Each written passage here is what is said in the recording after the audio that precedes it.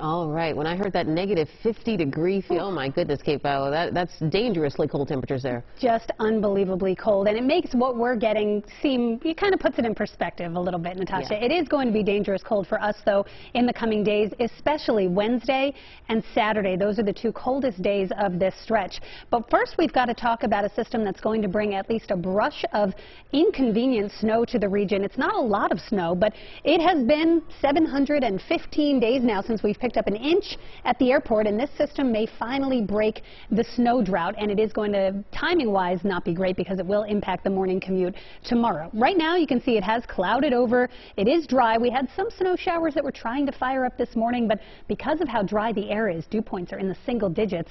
A lot of that was just completely evaporating before it even reached the ground.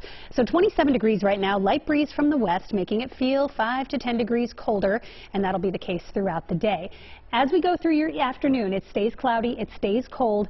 The later you get, the better chance you have for a little bit of snow to start working its way into the Philadelphia area. I think we'll see a better chance to the south as we go through the afternoon and evening, and then overnight into tomorrow morning, that's when snow will break out all across the region. It's not going to come down all that heavily, but it's a long duration event, and it's light, fluffy snow that tends to pile up a little bit quicker, and that will lead to slick conditions for the morning commute. Also, watching for the chance for some dangerous sleet or freezing rain during the morning hours tomorrow. So outside right now, there's not much going on. Maybe a few flakes here and there this afternoon, especially off to the south.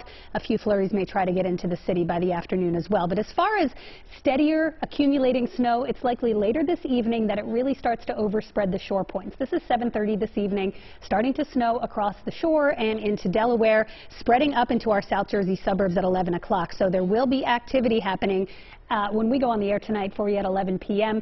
And make sure you tune in. Chief Meteorologist Bill Kelly will be timing that out and tracking the active radar. Then it fills in overnight right around the city and suburbs. We're going to see at least light snow about midnight, continuing to move through into the first part of the overnight hours. Now, there may be a little bit of a lull as we transfer the really the energy from the shore points to areas north and west.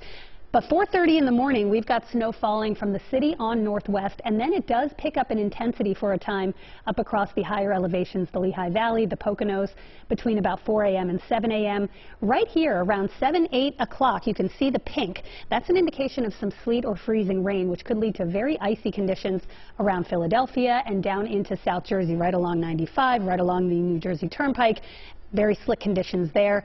Snow continues through at least about 11 a.m., possibly even later. I think most of it is getting out of here by noon, and then the cold will really start to settle back in. So by region, breaking this down, down the shore, the steadiest snow is tonight. We'll end up with a general 1 to 2 inches. There will be a little bit of mixing possible then into tomorrow morning.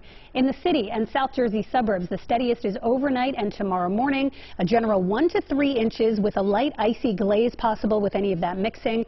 Northwestern suburbs, it's mainly all snow. Steadiest is overnight and early tomorrow with 2 to 3 inches likely in the northwest suburbs. The Lehigh Valley and the Poconos, all snow. Steadiest is tomorrow morning and 2 to 4 inches there with locally up to 5 in the higher elevations. So again, just breaking this down, 2 to 4 inches basically north and west suburbs up to the Poconos with locally 5 inches in the highest elevations, 1 to 3 with a little mixing possible through the shore points.